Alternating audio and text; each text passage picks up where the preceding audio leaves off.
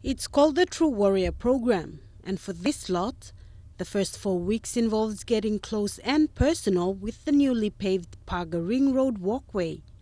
The participants have one thing in common they want to get fit and live a healthier lifestyle. Charlie and Biama have been with the Tru Warrior program when it first started its sessions in 2013.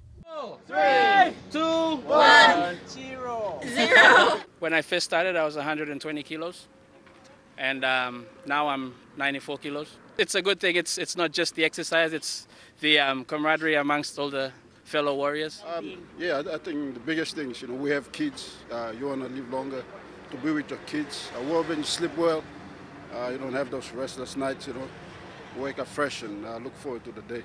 Yeah. One of the three trainers in the program, Tomasi Kami, says he has seen a lot of changes in them. They've lost a lot of weight, but not only that, they've come like, they've just like, they're a lot more confident, like the way they carry themselves. For Barbara, she's just starting her fitness journey. This is her first session. Eight to five job, and I don't really have much physical activity, so this is a good way to relieve some stress. And this hasn't scared you away. Um, no, I feel good actually. I feel like I can continue on the rest of the day now. So.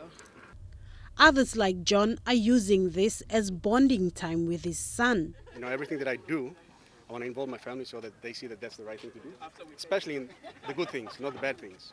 Yeah, that's why I involve my son. He's also uh, someone that wants to look after his health.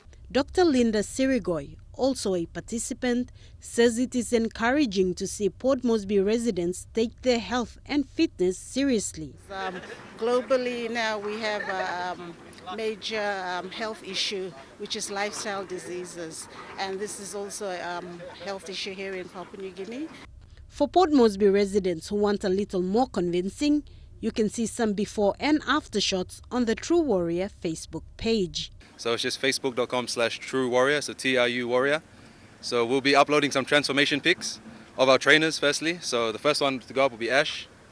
Okay, so you can see what he was like before and then what he's like today. Go True Serah Aupong, National EMTV News.